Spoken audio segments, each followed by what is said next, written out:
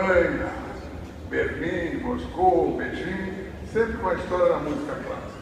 Mas quando passamos pela Olimpíada de Londres, além de compositores barrocos ingleses, nós fizemos uma homenagem aos Beatles e a Fred Mercury. Yesterday.